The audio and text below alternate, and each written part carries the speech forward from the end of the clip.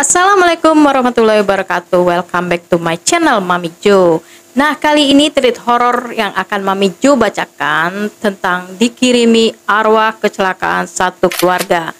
Ini dari akun Twitter Twilove Tarot at Aira Aira. Kejadian ini terjadi di tahun 2015 di sebuah kafe rumahan di salah satu kota di Sumatera. Baiklah, kita langsung ke ceritanya. Gue mau cerita pengalaman ini dari tiga bulan yang lalu, tapi selalu saja ada kendalanya. Selalu aja nggak pernah jadi. Semoga kali ini gue bisa ceritain semua kejadian ini dengan aman dan tentram. Jadi, gua memang terlahir dengan kepekaan yang mungkin berbeda dengan sebagian orang. Gua bisa merasakan dan melihat sesuatu dari alam lain. Nah, jadi akun Twilove Tarot at Aira Aira ini kayaknya dia uh, anak indigo.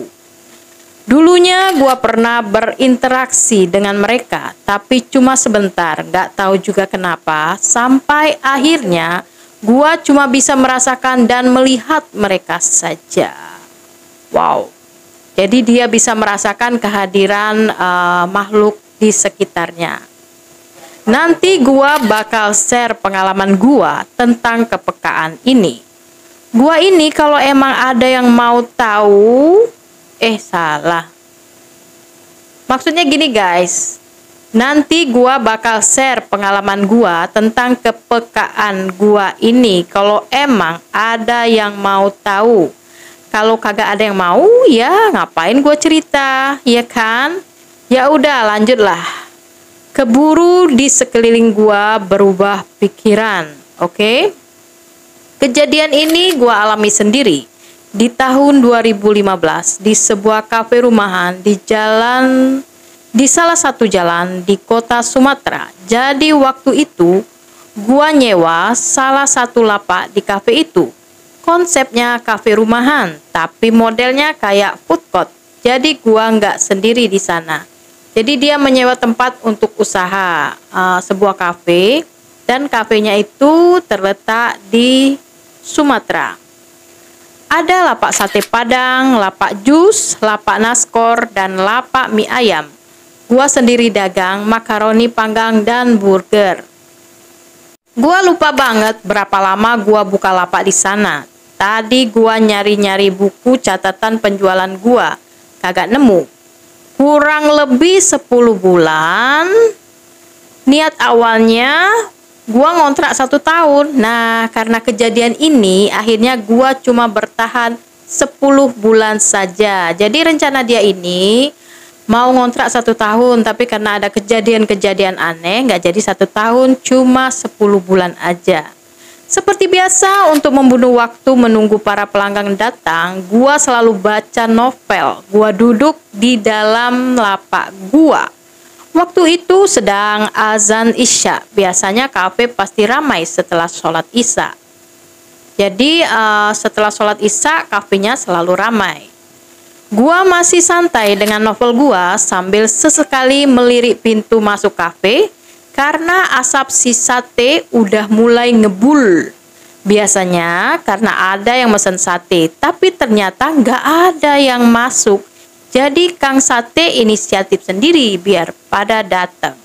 Oh jadi uh, tukang satenya karena belum ada tamu, dibuatnya aja asap gitu biar uh, seolah-olah rame. Gua balik lagi baca novel sambil lumayan heran kenapa belum ada yang jajan ke kafe kita. Biasanya jam 8 malam itu gua dan yang lainnya udah sibuk nyiapin pesanan. Biasanya gua ngobrol-ngobrol sama Kang Sate dan karyawan di sana sambil bercanda-canda.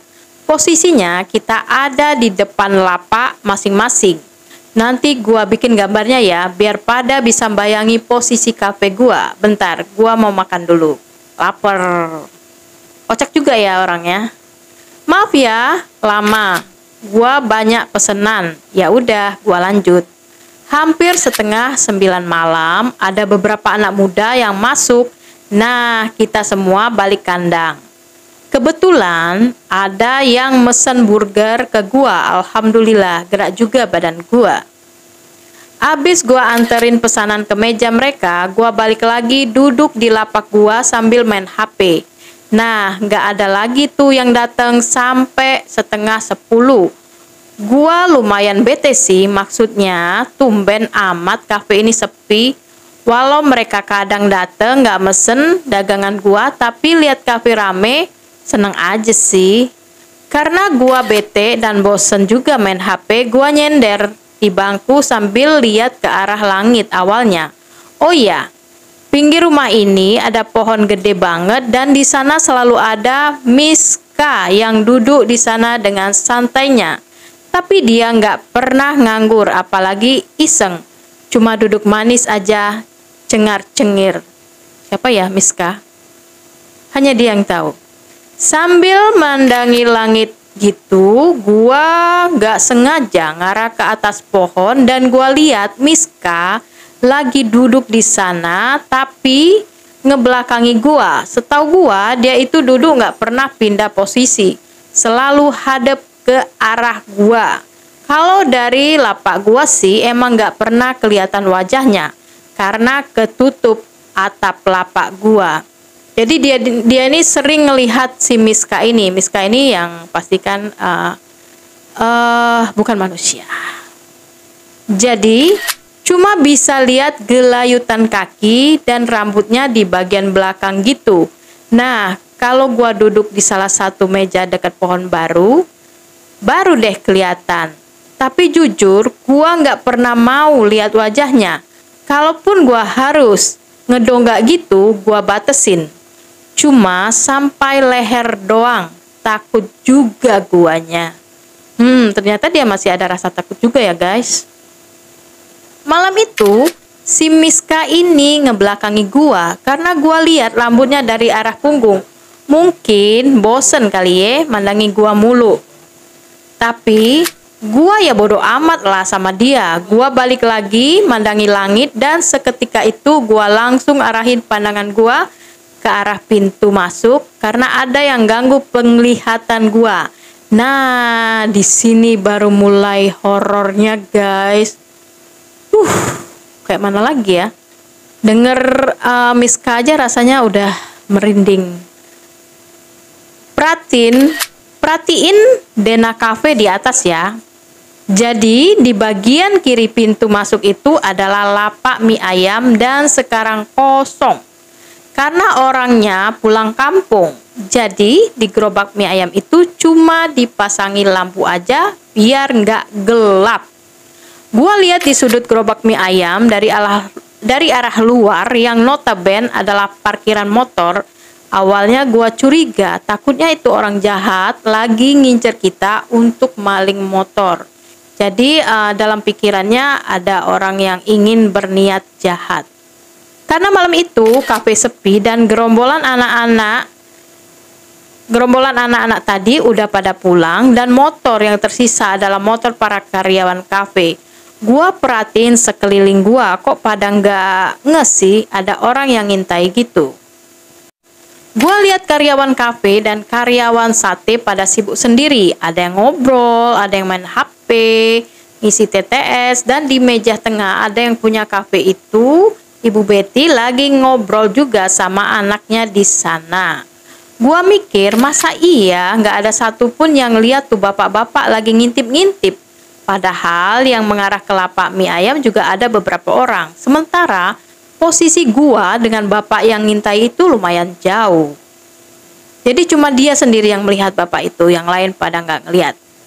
Makin lama gua perhatiin dengan detil orang yang di ujung itu tetap setiap gua mau ngomong manggil Kang Sate and karyawan kafe nggak bisa. Suara gua nggak keluar gua panik. Karena gua takut motor di depan hilang. Gua beranjak dari tempat gua juga nggak bisa. Gua cuma bisa berdiri tapi nggak bisa move on. Loh ada apa ya? Ya jadi uh, bersuara tapi nggak didengar orang dan dia mau berdiri pun nggak bisa Gua awalnya mau nyamperin tuh orang, mau gua usir gitu, tapi kaki gua nggak bisa gerak dong. suek emang. Suwe, suwe maksudnya ya. Suwe emang dan herannya gua berasa aneh. Gua lihat orang-orang kok kayak mematung semua. Penglihatan gua kayak dibatesin kelambu. Pokoknya aneh deh, gua masih belum sadar itu ya. Jadi uh, tatapan dia tuh seolah-olah dibatesin sama kelambu. Sambil gua berdiri, orang itu makin gua perhatiin dan gua baru sadar kalau orang itu penuh dengan darah. Dari mulai kepala, wajah, dan bajunya penuh darah. Sebelah matanya hampir keluar gitu. Darah dari kepalanya masih netes-netes, masih netes-netes dan masih segar. Seger banget. Ya Allah. Kenapa ya? Ini posisi jelasnya gua kasih tahu di gambar. Jadi, posisi orang yang ngintai dengan berdarah-darah itu yang gua gambar di pojok kiri atas dekat parkiran motor. Gue lemes dong, gua nggak tahu itu apa, siapa, en ngapain dia ngintip. Sampai berdarah-darah gitu, sejak pagi gua di sana sampai di mana gua lihat dia malam itu gak ada kecelakaan ataupun perkelahian di daerah kafe gua dan sekitarnya. Jadi dia ini penasaran juga, siapa sih orang itu? Karena kalau lihat kondisinya dengan darah segar itu, pasti itu baru banget kecelakaannya. Atau baru banget habis berantem gitu. Dan gua yakin, yakin banget dengan keadaan yang kayak gitu, gak mungkin hidup, apalagi bisa berdiri lama begitu. Karena gua fobia darah, ini gua ngetik sambil nangis karena harus ngebayangin darah seger itu lagi dong. Aduh, ternyata dia ini fobia darah ya. Karena gua yakin itu adalah darah. Gua tiba-tiba lemes dan langsung duduk sambil nahan mual dan tangis. Pas gua lagi megangan megangi perut, jadi pas dia lagi megangi perut sambil setengah ngeringkuk buat nahan mual, gua dengar bungkusan roti burger kayak ada yang ngeremes-remes lo tahu kan plastik plastik kaca untuk bungkus roti. Jadi uh, plastik kaca itu diremes-remes. Nah roti burger roti burger gua kan dibungkus pakai plastik kaca tebal dan gua pajang di meja karena plastik ini tebal. Kalau gua buka untuk ambil roti lumayan berisik. Gak seberisik plastik roti tawar atau uh, roti yang bermerek ini uh, disamarkan mereknya.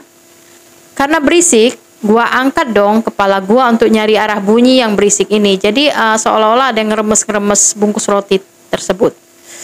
Uh, mulai terasa horornya. Dan lo semua tahu apa yang gua lihat?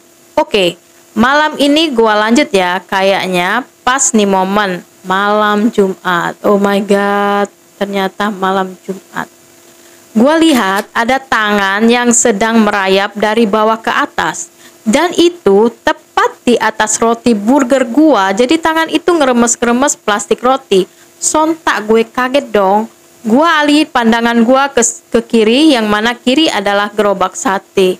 Oh my god, ternyata ada tangan. Tangannya aja nih ngeremes-ngeremes. Uh, ngeremes-ngeremes plastik roti.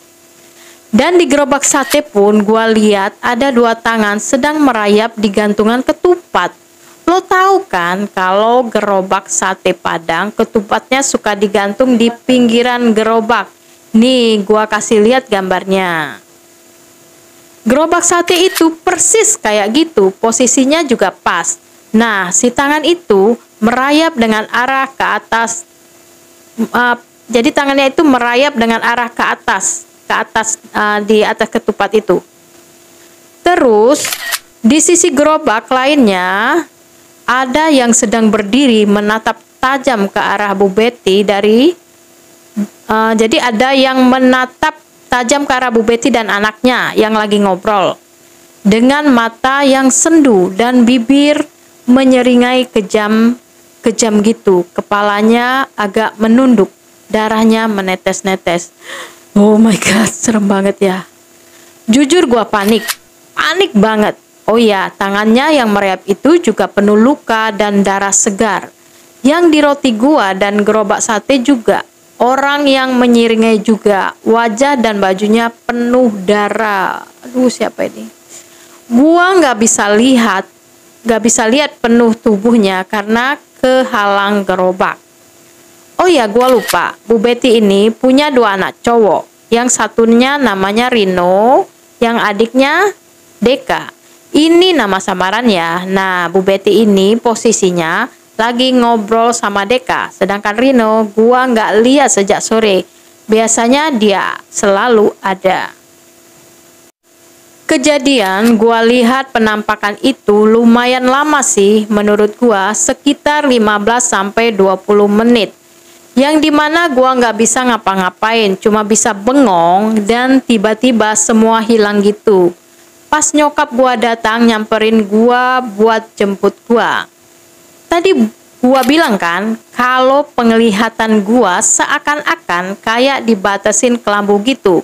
Nah, pas nyokap dateng, semua kayak kembali normal. Jadi apa yang gua lihat sebelumnya? Gua bingung deskripsiin yang gimana deh. Jadi bingung dia.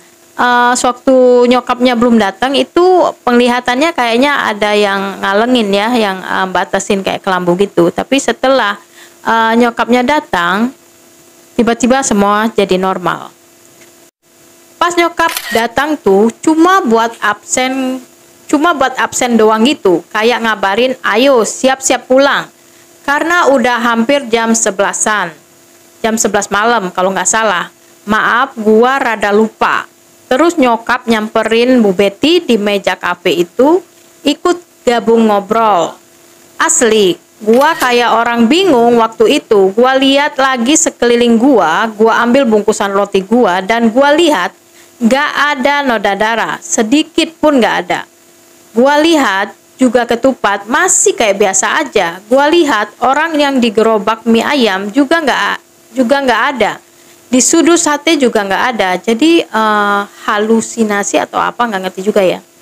Pas gua dan yang lain pada beberes gitu gua kaget. Ada yang mukul meja kenceng banget. Ternyata Bang Rino sontak gua langsung lihat ke arah ke arah suara. Gua lihat Bang Rino mukanya marah-marah uh, merah dan menahan marah. Semua pada heran semua para heran dan ngumpul di meja dekat Bu Betty, termasuk gua. Bang Rino teriak, An anjir kita dikerjain. Semua pada bingung. Bu Betty langsung nanya, dikerjain apa? Dikerjain kafe sebelah. Oh, ini gua ceritain dulu tentang kafe sebelah yang jadi kafe ini baru letaknya cuma beda satu rumah dari kafe gua. Tapi dari awal buka langsung rame sama anak-anak muda. Konsepnya hampir sama kafe rumahan outdoor. Kalau kafe kita di halaman depan, kalau kafe mereka di halaman tengah rumah. Mungkin, ini mungkin ya, hubungan pemilik kafe gua dan mereka ini nggak baik. Jadi kayak ada yang nggak terima. Salah satunya dengan kafe yang super rame ini. Dan kafe yang baru buka ini operasinya sampai jam 12 malam dan kata orang-orang komplek cukup mengganggu. Kafe gua ini jam 11 sudah tutup. Jadi, ternyata setelah Bang Rino cerita, penjualan dia sekitar 3 sampai 4 hari belakangan belakangan ini menurun drastis. Dia ngerasa cuma dagangan dia doang yang nurun. Ternyata semua pedagang merasa hal yang sama. Pedagang jus dan nasi goreng juga bilang begitu.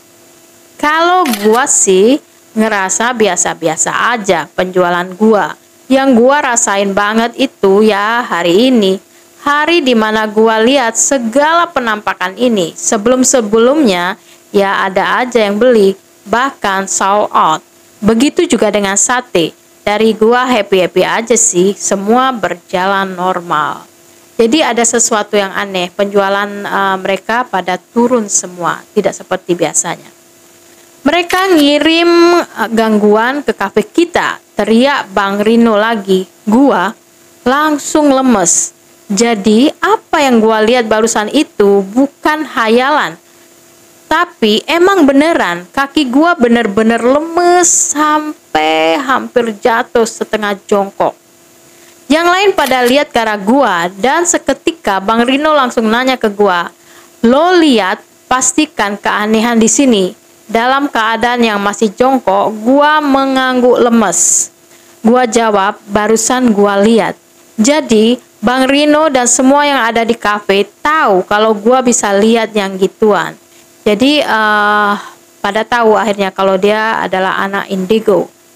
Lu lihat apa? Lu lihat apa? Tanya Bang Rino sambil teriak panik. Orang yang berdarah-darah, tangan yang berdarah-darah ada di meja gua, sate dan mie ayam.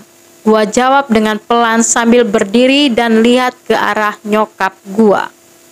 Udah tuh ya, nyokap gua buru-buru nyuruh gua pulang dan cepet beberes. Nyokap gua mau gua mak nggak mau uh, gua makin stres karena beliau lihat muka gua pucet dan keringetan. Akhirnya gua beberes dibantuin nyokap. Pulanglah gua hari itu.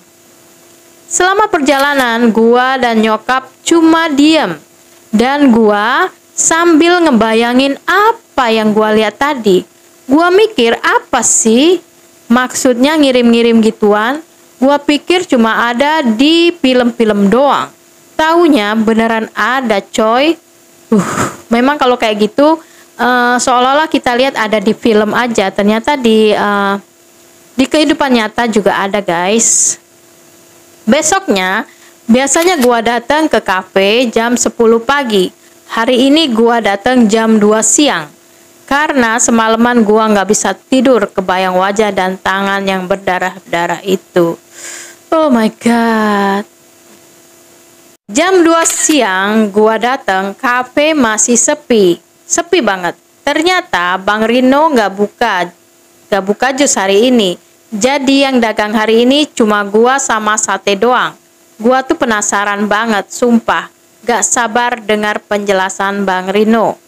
Sore itu gua lalui seperti biasa, ladenin orang belanja, baca novel, dan lain-lain. Gak ada yang nanya ke gua sekalipun.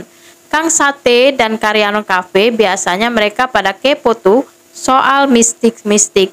Wong soal miska Soal Miska aja nanyain ke gua tiap hari. Ternyata mereka dilarang nanya-nanya ke gua soal kemarin malam sama Bu Betty, Bang Deka dan Bang Rino. Biar nanti malam aja kalau mau nanya dan gua bisa jelasin apa yang terjadi. Jadi gua nggak cerita-cerita gitu dan gua bisa fokus, fokus dagang maksudnya. Menjelang maghrib, Bang Rino dan Bang Deka datang langsung nyamperin gua di lapak. Hari ini sampai jam 9 malam aja, nggak apa-apa ya.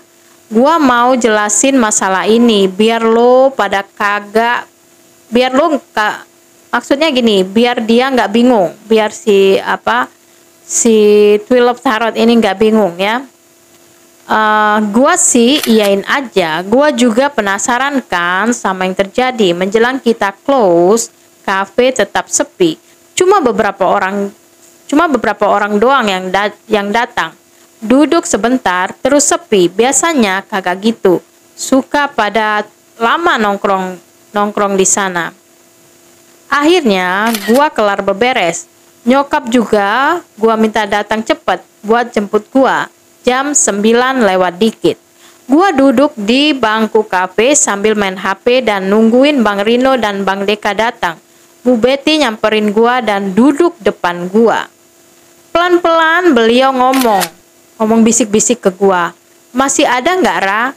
Dengan slow motion, gua lihat sekeliling kafe, depan belakang, atas bawah, kiri kanan, cuma Miska doang. Jawab gua sambil senyum ngeledek. Hmm, Bu Betty jadi uh, tegang juga dia dengar cerita. Gua tahu beliau mau marah, tapi kayak nahan gitu, takut Takut kali ya kalau doi marah. Malah makin parah. Akhirnya cuma bisa diem sambil nungguin dua anaknya dateng. Katanya bareng orang pinter dan gua bawa ngobrol biar suasana nggak tegang. Jadi dia ngobrol sama Bu Betty. Pegel oi, sambung besok ya. Oke. Oke, gua lanjut ya. Maaf lama, wifi di rumah bermasalah. Akhirnya Bang Deka dan Bang Rino dateng bareng si orang pintar. Sebut aja namanya Pak Ular. Ah, Pak Ular. Dan kami duduk rame-rame di kursi kafe yang di tengah. Pak Ular mulai bercerita kalau memang iya kafe ini dikirimi sesuatu. Oh my god, ternyata uh, feelingnya Rino tadi bener ya. Uh, kafe itu dikirimi seseorang. Di sini posisinya Bang Deka dan Bang Rino belum ngasih tahu apa-apa ke Pak Ular. Soal apa yang gua lihat semalam, mereka mau menyatukan sama atau enggak jawaban Pak Ular dengan yang gua lihat dan ternyata jawabannya sama. Jadi apa yang dia lihat itu sama dengan yang dilihat oleh si paranormal. Pak Ular bilang kafe ini dikirimi korban kecelakaan. Kejadiannya beberapa hari yang lalu. Dan korban kecelakaan ini ternyata nggak jauh alamatnya dari daerah kafe gua. Cuma orang-orang sini nggak ada yang kenal sama keluarga ini. Kecelakaannya di luar kota, ceritanya satu keluarga lagi holiday gitu jadi mau pulang ke rumah dan ternyata kecelakaan. Satu keluarga meninggal semua. Oh my god. Kata Pak Ular, kafe sebelah sengaja ngirim arwah orang baru, orang baru meninggal untuk bikin kekacauan di kafe kami. Dan biar kafe kami juga nggak kelihatan sama orang-orang yang lewat. Jadi, kalau dilihat orang, kafe kami ini tutup terus dan pindah ke kafe sebelah. Oh my god, jahat banget ya. Akhirnya gua ceritain ini apa yang gua lihat semalam dan apa yang gua sebutin semua diiyain sama Pak Ular. Dan penampakan di gerobak mie ayam, di roti burger, di ketupat sate, semuanya sama apa yang dilihat sama Pak Ular. Jadi apa yang dia lihat tuh sama persis dengan yang dilihat si paranormal. Akhirnya, malam itu kafe kami dibersihkan sama Pak Ular. Suasananya di sana tegang. Kami pun semua tegang. Gak ada yang berani bersuara. Gua cuma bisa duduk diem di lapak gua sambil merhatiin Miss K di atas pohon yang cuek bebek sama masalah yang kami hadapin. Miss K-nya santai aja, emang gue pikirin katanya ya. Setelah malam itu, kafe kembali seperti biasa. Semua berjalan normal kembali. Kafe rame kayak biasa. Dan jujur, jujur aja, gua tahu apa yang dilakui Bang Deka dan Bang Rino ke kafe sebelah. Karena gak lama dari kejadian itu, kafe sebelah tutup. Jadi si uh, Rino dan si Deka ini mendatangi kafe sebelah. Mungkin dia marah ya kali ya sana. Kurang tahu juga sih berapa lama kafe sebelah bertahan setelah kejadian yang mereka lakuin ke kafe kami. Setahu gua dari hari ke hari ada aja yang masih mereka buat sehingga diprotes sama warga sekitar dan akhirnya tutup. So guys, memang ya dalam yang namanya berbisnis itu pasti adalah yang namanya persaingan. Gua cuma bisnis makanan. Dalam hal apa aja pastilah ada yang namanya persaingan dan gak jauh-jauh juga dari hal-hal goib kayak gini. Tapi memang ya kalau kita buka usaha tuh ada aja yang mau gangguin. Apalagi ngelihat kita uh, usahanya maju dan sukses, kayaknya ada aja yang ngiri ya. Gua memang percaya dengan hal goib. Gua percaya kinerja dukun. Gua percaya adanya santet dan lain-lain. Tapi jujur aja, Hal kayak gini sulit buat gua terima dengan akal sehat sebenarnya. Mungkin karena gua ngalami sendiri. Oke. Okay. Kirim-kiriman santet, hal-hal buruk, hal-hal goib ternyata benar bisa, benar ada. Ya, apa pun itu, sebaiknya kita bekerja dengan jalan halal rezeki kan udah diatur sama Tuhan. Jadi kalau mau buka usaha tuh nggak usah aneh-aneh, geh, nggak usah apa ya. Kita ngelihat uh, tetangga kita lebih rame, kita jadi ngiri dan kita akhirnya berbuat yang macam-macam itu nggak bagus banget. Oke, segitu aja cerita dari gua. Salah satu pengalaman pribadi, masih ada beberapa cerita goib lain. Nanti kalau mood gua oke, gua bakal ceritain lagi.